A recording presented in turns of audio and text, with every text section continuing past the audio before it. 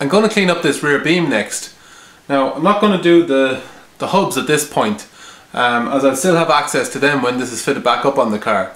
So I'm going to concentrate on this area here which will be uh, inaccessible when it's bolted up on the car and uh, these can be done later when I have the, the rest of the brakes uh, hooked up again.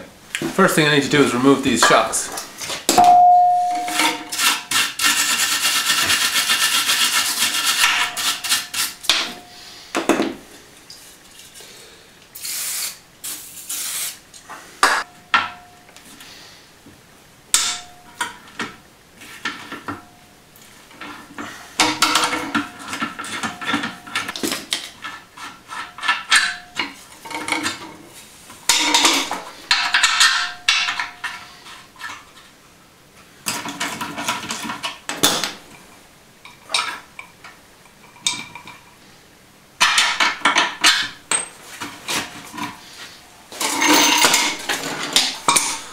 Now, it would probably make sense to uh, renew these shocks, but I actually bought these uh, back in 1999 uh, for um, the Black Kadett, and I had them on it for a number of years.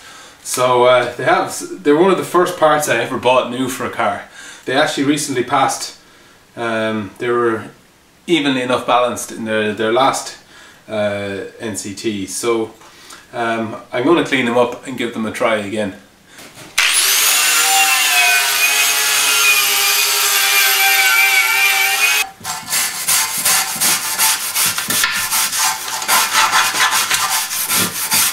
That's all clean now, so I'm going to give it a coat of the rust primer too.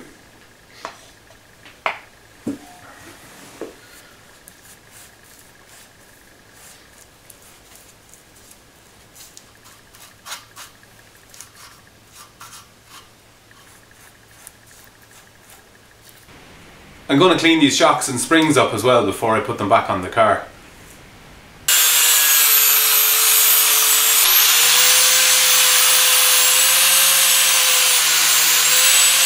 They cleaned up well, and I can paint them now.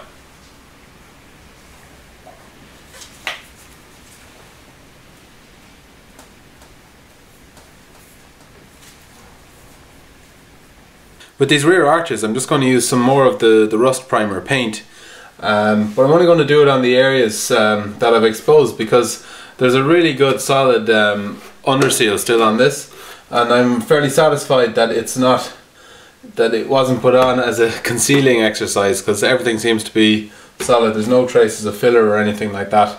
So um, I'm happy enough to, to let that stay and just touch up around it.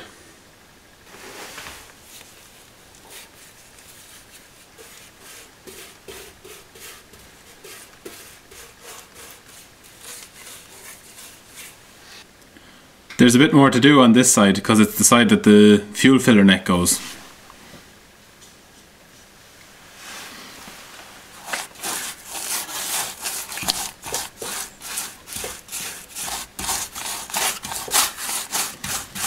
When that's had time to dry, it'll be ready for a layer of underseal.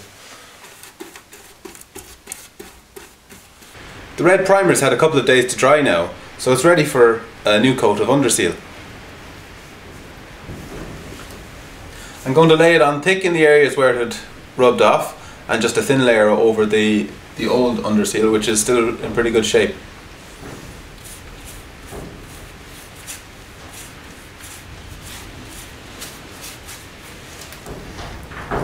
I've been around and done the other side and I'm just finishing the first side now with a second coat.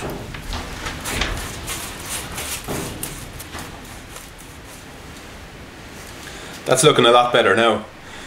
If you're enjoying my videos, don't forget to like and share them. And if you want to hear about the latest ones, you can click the subscribe button below.